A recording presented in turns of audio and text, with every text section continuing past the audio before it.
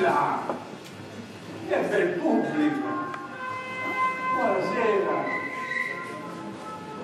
Eh, io mi devo presentare perché questa sera io non sono io.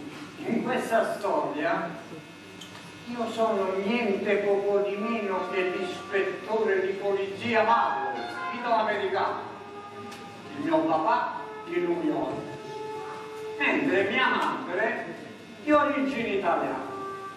Il suo papà, mio nonno, proviene da Martina Franca, a casa di mamma. Si parlava maltenense, quindi io sono idolo maltenense.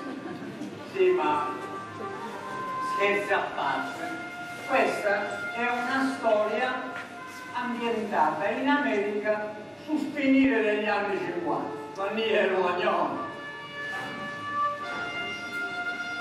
Ambiente noir, fumo, un po' di fumo. È un'epoca caratterizzata dalla paura degli UFO, dalla guerra fredda, dagli italo-americani, dalla sparizione improvvisa di bambini. Negli Stati Uniti spariscono circa 800 bambini in anno, ma 5.000 al giorno, non pensate.